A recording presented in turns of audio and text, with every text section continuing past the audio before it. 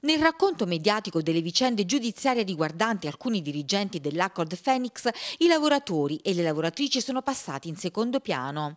In una lettera unitaria che comincia in questo modo e sottoscritta questa mattina durante il Consiglio Comunale straordinario, tutti i lavoratori dell'ex polo elettronico dell'Aquila, i 50 circa riassunti dall'azienda di trattamento dei rifiuti elettronici finita nell'occhio della magistratura e quelli, un centinaio, in attesa di essere riassunti, difendono l'azienda nata dalle ceneri delle quattro aziende fallite del polo elettronico e grazie all'investimento dell'imprenditore inglese Ravi Shankar.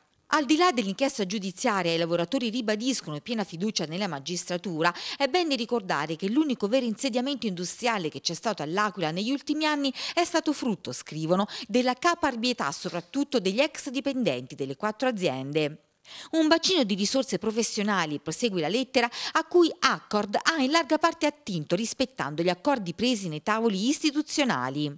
I finanzieri del nucleo di polizia economico-finanziaria della Guardia di Finanza dell'Aquila avevano dato esecuzione due settimane fa a un sequestro preventivo per 5 milioni di euro. I fondi sin qui trasferiti da Invitalia nei confronti delle società e di tre persone accusate del reato di indebita percezione di contributi statali. Intanto l'azienda ha disertato il consiglio comunale straordinario convocato per questa mattina su richiesta del consigliere dell'IDV Lelio De Santis.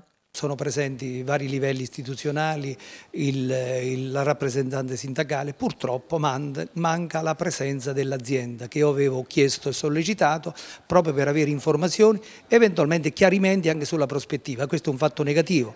Di sicuro c'è un investimento pubblico e privato, c'è un impegno eh, occupazionale di 128 unità, allo Stato ne sono solo 54 che arrivano a 60 con le maestranze amministrative. Evidentemente non è stato possibile portare avanti, non so per quale ragione, e ne dovrebbero dar conto qui in questa assise, eh, il piano complessivo con le 128 unità. Questo è il problema vero, perché si prende il denaro pubblico, l'utilizzo, la fruizione del denaro pubblico e poi non produce, secondo un piano industriale, le occupazioni conseguenti. Questo è il punto, noi vogliamo avere chiarezza, ma ripeto, estendere il discorso più in generale a tutto il tema del lavoro, che è la priorità assoluta di questa città.